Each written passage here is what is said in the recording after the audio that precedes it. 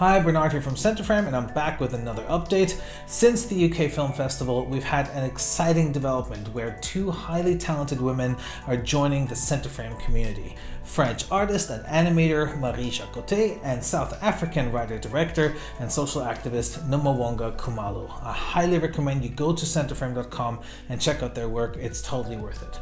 Also, be sure to check out our blog. I have a brand new episode of CenterFrame Interview where I talk to three fantastic filmmakers featured featured at the UK Film Festival, make sure you sign up to our newsletter while you're there. I wish all of you happy holidays and a wonderful festive season. I will see you again next week.